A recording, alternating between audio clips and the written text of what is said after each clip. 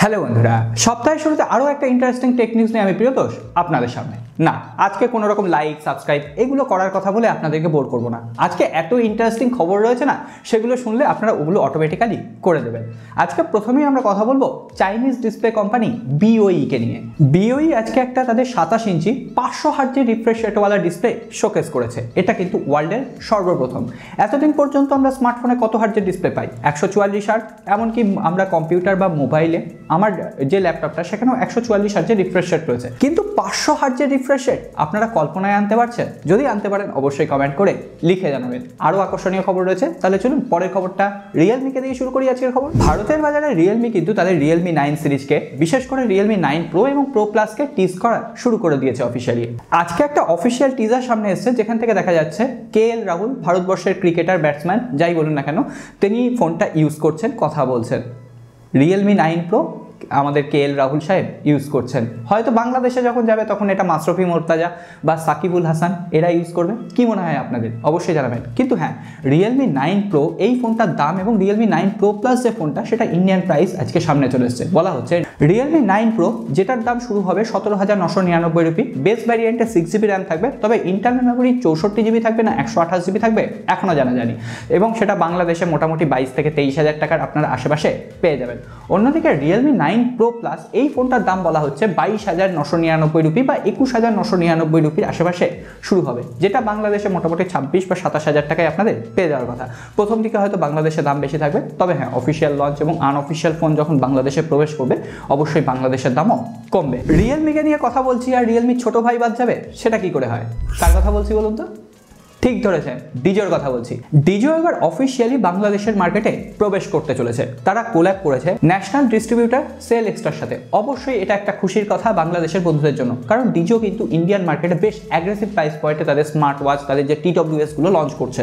এবং সেই একই কায়দায় যদি তারা বাংলাদেশে প্রবেশ করতে পারে, তাহলে আমার মনে হয় বাংলাদেশে অফিসিয়াল মার্কেটে এই ধরনের প্রোডাক্ট এখনও পর্যন্ত কম আছে। তো সেক্ষেত্রে ডিজো এই চাহিদাটা পূরণ করতে পারবে। তাও আবার কম দাম। এরপরে একটা ইনফিনিক্সের তরফ থেকে ছোট্ট খবর দিয়ে দিই। আর আজকে ইনফিনিক্সের কথা বলতে গেলে ইনফিনিক্স জিরো ফাইভ জির কথা চলেই আসবে। আজকে কেন? ইদানিং এই ফোনটাকে নিয়ে বেশ চর্চা হচ্ছে। কি স্পেসিফিকেশন থাকবে সমস্তটা আপনাদের জানা, কোন প্রাইস পয়েন্টে আসবে? ইন্ডিয়ান মার্কেটে যে কুড়ি হাজার রুপি নিচে হবে, এগুলো আপনাদের জানা। কিন্তু আজকে অভিষেক যাদবের রিসেন্ট টুইটার হ্যান্ডেল থেকে এই ফোনটার একটা ইয়েলো কালার ভ্যারিয়েন্ট সামনে এসেছে, যেটা দেখতে অসাধারণ লাগছে। এমনকি এটাও মনে হচ্ছে যে ব্যাক প্যানেল থেকে এটা ম্যাট ফিনিশ হবে।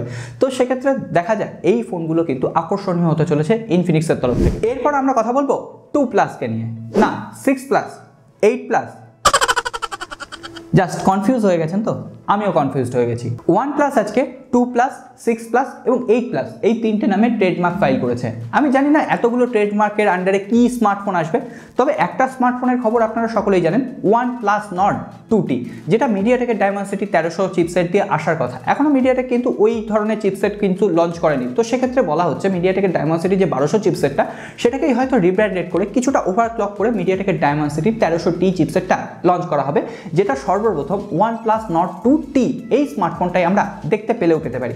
আজকে এই স্মার্টফোনটার দাম সামনে চলে এসেছে।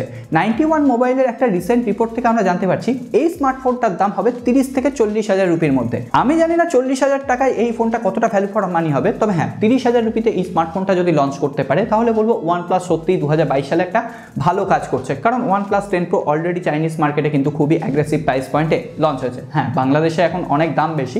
যখন বাংলাদেশে অ্যাভেলেবেল হয়ে যাবে গ্লোবাল মার্কেটে লঞ্চ হবে ইন্ডিয়ান মার্কেটে লঞ্চ হবে, তখন বাংলাদেশের দামও কিন্তু কমে যাবে। তো সেক্ষেত্রে ওয়ান প্লাসের পরবর্তী স্টেপগুলো দেখার জন্য আমরা ওয়েট করছি। আর one plus Nord two C যে ফোনটা সেটা তো এই মাসেই লঞ্চ করছে, সেটা স্পেসিফিকেশনের দিকে আর গেলাম এছাড়াও বলেছিলাম আমি ওয়ান প্লাস টেন সিরিজের আন্ডারে ওয়ান প্লাস টেন আলট্রা নামে আরও একটা নতুন ভ্যারিয়েন্ট কিন্তু ওয়ান প্লাস লঞ্চ করবে। আজকে এই ফোনটার একটা প্রোফার্মা ইমেজ সামনে চলে এসেছে। ওয়ান প্লাস টেন সিরিজের মতোই দেখতে লাগছে অ্যাকচুয়ালি কিন্তু নিচের দিকে একটা পেরিস্কোপিক জুম লেন্সওয়ালা ক্যামেরা কিন্তু দেখা যাচ্ছে। সো আশা করা যায় আমরা ওয়ান প্লাস টেন প্রতি একটা ক্যামেরা অপটিমাইজেশান দেখতে পাবো এবং হ্যাসেল ব্লাইটের ক্যামেরাই থাকবে।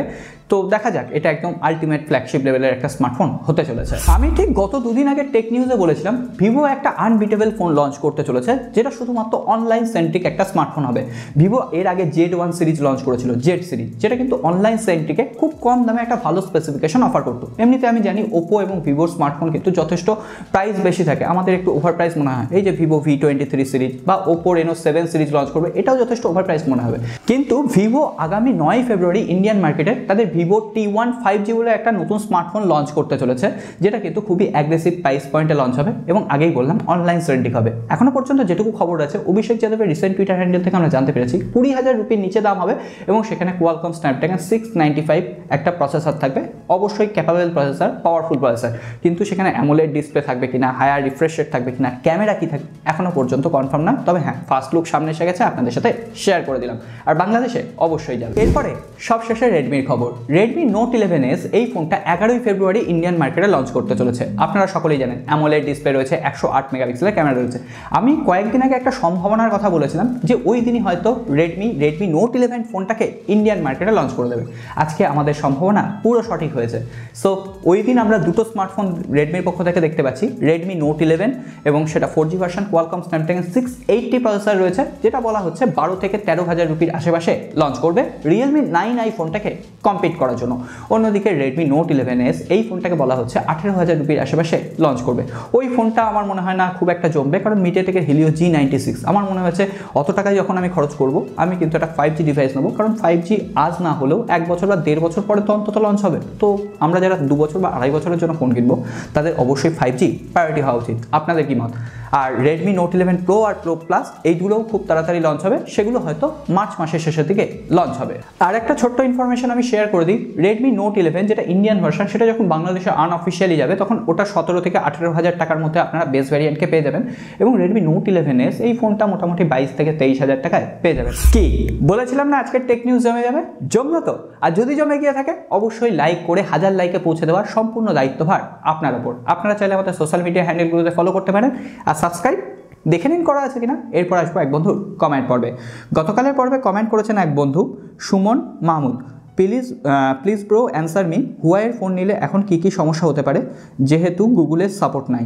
হুয়াইয়ের ফোন নিলে আপনার অনেক রকম সমস্যা হতে পারে। হুয়াইয়ের যে অ্যাপ স্টোর সেখানে আপনি এতগুলো অ্যাপ্লিকেশনের সাপোর্ট পাবেন না। হয়তো আপনি একটা প্রয়োজনীয় অ্যাপ্লিকেশন যেমন কাইন মাস্টার হয়তো ভিডিও এডিটিংয়ের জন্য ইউজ করেন। সেটা হয়তো হুয়াইয়ের যে অ্যাপ স্টোর রয়েছে, সেখানে আপনি অ্যাভেলেবেলই পেলেন না, তাহলে সেই কাজটা আপনি করতে পারবেন না। এছাড়াও আমরা যারা ইন্ডিয়া বা বাংলাদেশে থাকি, তারা কিন্তু গুগল নির্ভর। আমাদের একটা ছোট্ট জিনিস সার্চ করার দরকার পড়ল, সেটা আমরা গুগলে গিয়ে সার্চ করি।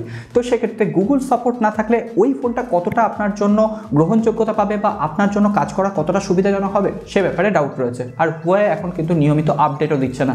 তো সেগুলো মাথায় রাখতে হবে। এই জন্য হুয়াইয়ের অ্যাপ ইউআইটা যতক্ষণ না স্টেবেল হচ্ছে, ততক্ষণ আমি কাউকে রেকমেন্ড করতে পারছি না হুয়াই স্মার্টফোন কেনার জন্য।